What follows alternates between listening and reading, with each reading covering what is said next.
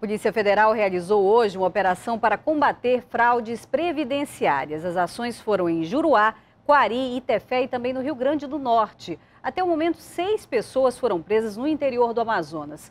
Um carro e 25 mil reais apreendidos. As investigações iniciaram em 2011 e contaram com a participação do Ministério da Previdência Social e do Ministério Público Federal. Quem sobrevive com um salário mínimo tem feito malabarismo para conseguir pagar as contas. A inflação em alta mexeu com o preço de vários produtos, da gasolina ao ovo. A lista do supermercado ficou mais curta. Várias coisas estão fora do normal.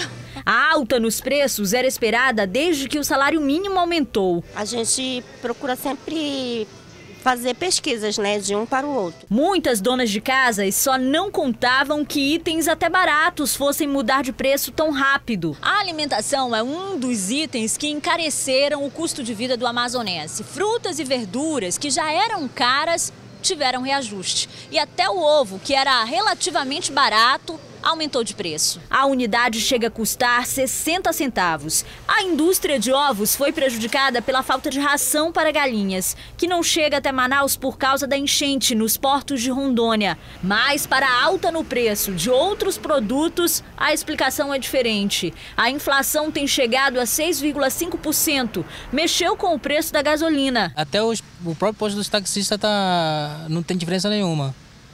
Se, se, tem diferença é de centavos. Mexeu com o preço de produtos industriais e com produtos de limpeza. Este economista diz que é preciso fazer uma adaptação no orçamento familiar e controlar os gastos. Os preços realmente estão sendo inflacionados assim assustadoramente. O que nós é, adiantamos que cada um deve ver é a sua condição, ser racional na hora de comprar, fazer, na hora de fazer a sua compra. A perspectiva é desanimadora para alguns consumidores. Podem surgir novos reajustes, inclusive de produtos que passam pela entre-safra, como pupunha e tucumã, que custam até 50 reais o quilo. A diferença só foi mesmo aqui na pupunha, porque a pupunha está chegando muito cara para nós. Frutas e verduras também podem ficar ainda mais caras. Principalmente fruta aqui na região norte, né? Verdura você ainda consegue um preço acessível, mas fruta não tem jeito.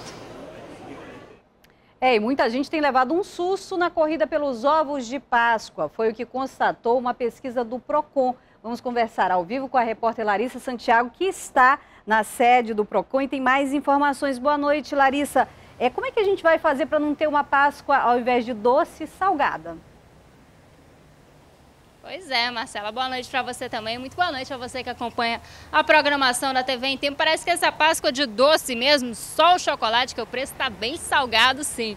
Olha só, o Procon fez no início do mês uma pesquisa em cinco grandes supermercados aqui da capital. Ao meu lado, a diretora do Procon, Janaína Salles. Diretora, o que, que vocês constataram nessa pesquisa? O que, que foi revelado? Então, a pesquisa foi realizada em, em cinco redes de supermercados e em torno de 90 ovos de Páscoa foi fiscalizado e nós chegamos ao, ao, ao, resultado que entre um ovo e outro há uma diferença de até 50% no valor. Quais irregularidades que o consumidor pode encontrar no ovo de Páscoa?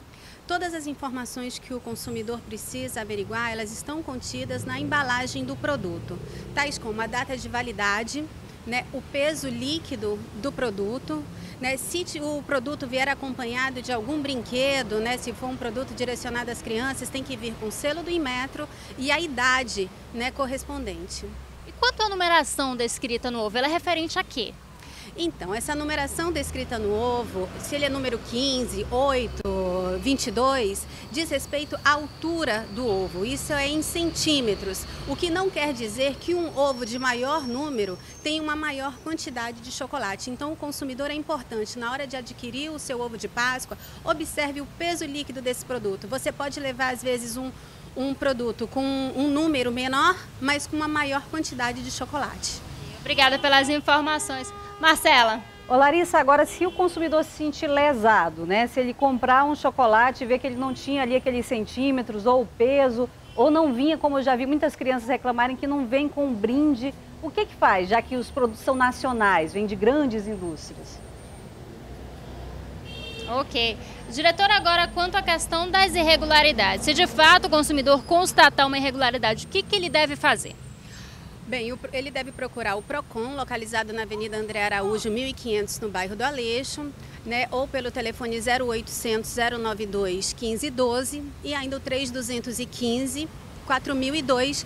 Ele comparece no PROCON munido da nota fiscal, né? Como no caso é ovo de Páscoa, seria interessante ele trazer a embalagem, né, uh, que aí vai caracterizar qual foi a lesão sofrida, se é a data da validade, né, ou a ausência do selo do Inmetro, enfim.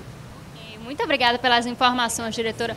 Olha, Marcela, lembrando que toda essa lista, com essa planilha que eles fizeram da pesquisa dos supermercados, está disponível na página da Sejus. Marcela, volto com você no estúdio. Obrigada. Essa foi a Larissa Santiago falando ao vivo da zona centro-sul aqui da capital. Depois do intervalo, ribeirinhos encontram 200 quilos de droga no interior do estado. E mais, a violência em sala de aula, casos de tentativa de assassinato e consumo de drogas dentro das escolas aumenta. A gente volta lá já.